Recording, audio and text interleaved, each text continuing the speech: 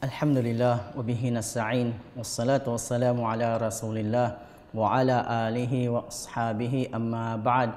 Assalamualaikum warahmatullahi wabarakatuh. Mga minamahal kong kapatid sa pananampalatayang Islam, nandito naman ho tayo upang makapagbigay ng munting mensahe patungkol sa pananampalatayang Islam.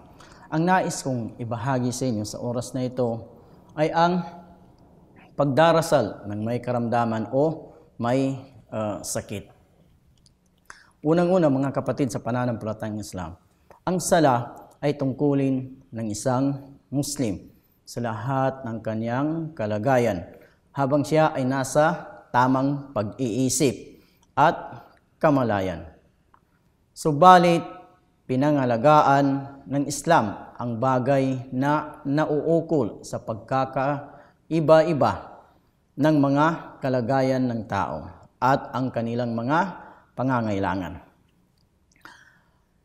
Sa pagdarasal ng may karamdaman, ipinapahintulot ang hindi pagtindig sa sala ng isang may karamdaman na walang kakayahang tumindig o ang pagtindig ay magbigay hirap sa kanya o magpapabagal sa kanyang paggaling kaya siya ay dapat magsagawa ng sala ng nakaupo.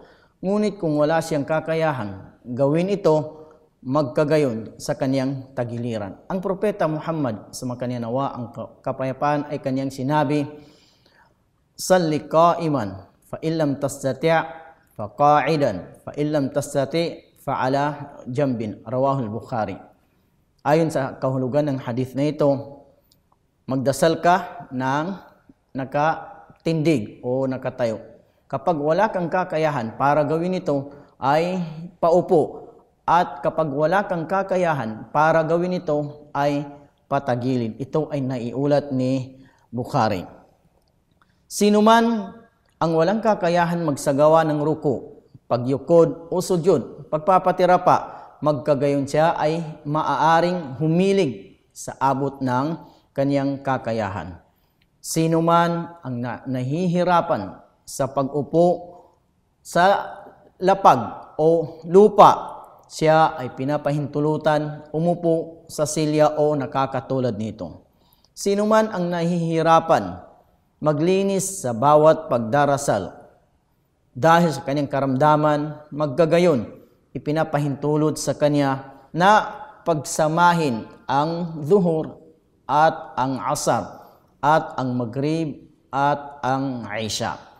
Uh, sa pagdarasal ng duhur ay kinakailangan na apat na rakaah at ito'y nangangailangan ng dalawang ikama. Pagkatapos ng duhur, mag-ikama muli at isasagawa niya ang asar ng apat na rakaah. At ganun din sa Maghrib, magdasal, mag-ikama siya at magdasal ng tatlong rakaah at pagkatapos muli ay mag-ikama at magdasal muli ng apat na rakaah ng uh, Isha.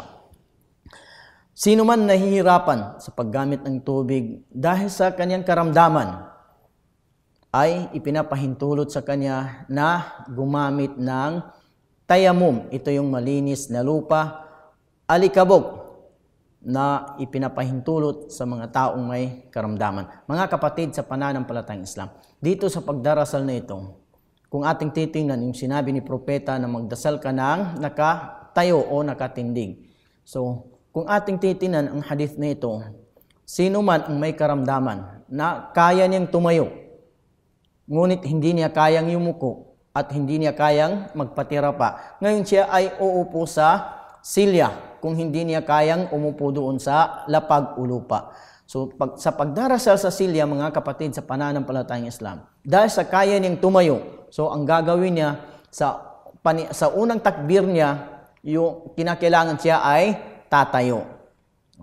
Pag sabi niya ng Allahu Akbar, siya ay nakatayo. Basahin niya yung dua ul istiftah, then basahin niya ang A'udhu Billahi Minasyaitanir Rajim at basahin niya ang Surah Al-Fatiha at pagkatapos noon ay basahin niya ang sura mula sa banal na Quran. At kapag siya ay yuyuko, uupo ngayon siya sa silya upang isagawa ang pagyuko. At doon sa pagyuko niya, dahil sa hindi niya kayang ah, yumuko, so upo siya sa silya at humilig siya sa abot ng kanyang makakaya. At ganun din sa kanyang pagpapatira pa, dahil sa hindi niya kayang magpatira pa sa lupa o sahig, so humilig siya sa abot ng kanyang kakayahan. At mas mababa ang posisyon ng kanyang pagpapatira pa kaysa posisyon ng kanyang pagyukod. So, ganun po yung mga pamamaraan niya, mga kapatid, sa pananampalatayang Islam. Ngunit kung wala siyang kakayahang tumayo, hindi niya kaya, nakaupo lang siya sa silya, so hindi na ho kailangan siyang tumayo. Magdasal siya na nakaupo at doon niya isasagawa yung sinasabing takbiratul ihram. Ngayon, kung kaya niyang umupo sa sahig? So magdasal siya na nakaupo sa sahig. At kung kaya niyang magpatira pa, gagawin niya po yun. Ganun lang po kasimple ang pamamaraan ng pagdarasal ng may karamdaman. So hanggang dito na lamang. Wassalamualaikum warahmatullahi wabarakatuhu.